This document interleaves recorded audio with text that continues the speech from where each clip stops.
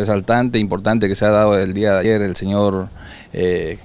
Camilla, así también el señor Gualto Mójica, le han concedido la cesación a la detención preventiva a ambas personas. Sin embargo, el Ministerio de Gobierno, el Viceministerio de Transparencia, así como también el Ministerio Público, hemos presentado recursos de apelación correspondientes para que el Tribunal de Alzada, una vez revisados los fundamentos, revoque la resolución porque consideramos que los elementos que se han presentado no eran suficientes e idóneos para poder se beneficiar con la cesación de la detención preventiva. Eh, la, investigación todavía sigue su curso, este es un delito complejo y se ha ampliado por el delito de organización criminal en este, en este proceso y bueno, pues apuntamos a que la investigación se amplíe por el plazo máximo de 18 meses, tomando en cuenta que existen nuevos participantes, existen nuevos sujetos procesales que van a ser, ser incluidos en el presente proceso. Bueno, el señor Camilla hizo considerable inversión en, en su clínica,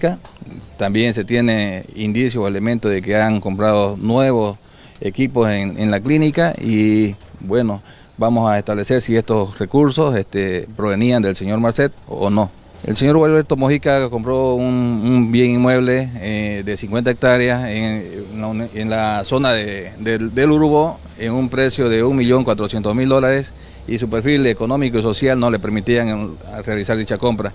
Así como también la compra fue autorizada por el señor Marcet y la entrega del dinero fue realizada por una de las personas de confianza del señor Marcet. las más resaltantes son que a ambas personas se le ha fijado 30 mil bolivianos de fianza, al señor Camilla detención domiciliaria las 24 horas con una escolta policial y al señor Mojica 24 horas de detención domiciliaria con, sin escolta policial.